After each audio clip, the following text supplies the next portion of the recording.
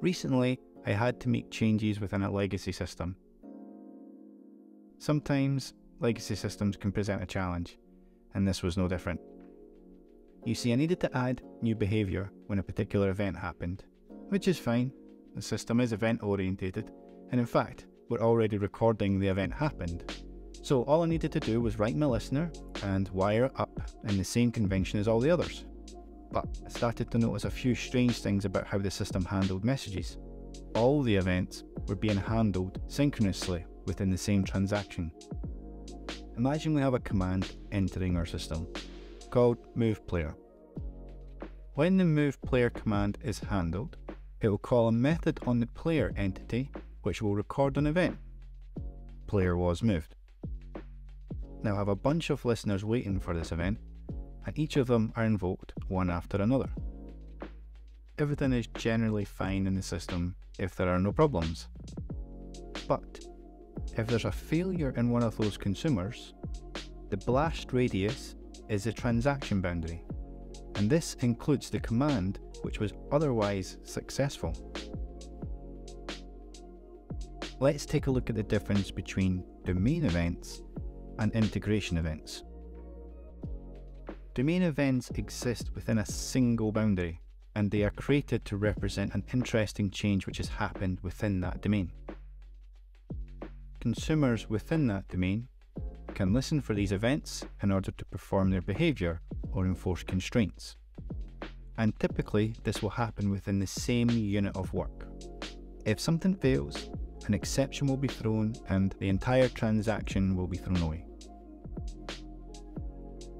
Integration events are used when integrating with another service across a boundary. These consumers will exist outside of the transaction and any failures would be isolated. And this is the primary difference between domain events and integration events. Domain events are not intended to leave the boundary, they have specific meaning within the boundary. However, it is the responsibility of integration events to communicate outside of the boundary. Now, the problem I was facing was that we didn't have integration events. We did have domain events, and they were being consumed by listeners outside of the boundary. And not only that, those listeners were calling third party services which had their own side effects. Now, if we take a look at our transaction boundary, if anything happened within any of these listeners, and the entire unit of work was rolled back, the external service didn't know anything about this, and there was no compensating actions.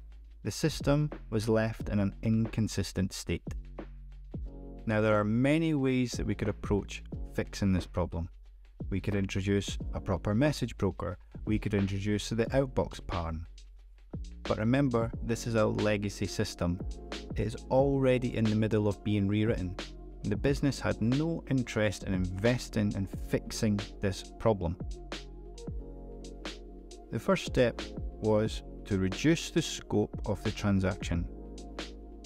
Only once the action was completed successfully did we notify any event consumers.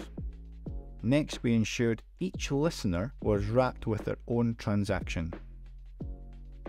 This ensured that any failures didn't impact the others and didn't impact the original command. Any failures were added to a queue which could be redriven at a later date. This solution by no means is a complete way of handling messaging within your application, and I've missed out a ton of detail and I'm sure I'll revisit it in future videos. But for now, hopefully I've explained some of the challenges that could arise when event consumers are invoked within the same transaction. But that's all for today. Take care.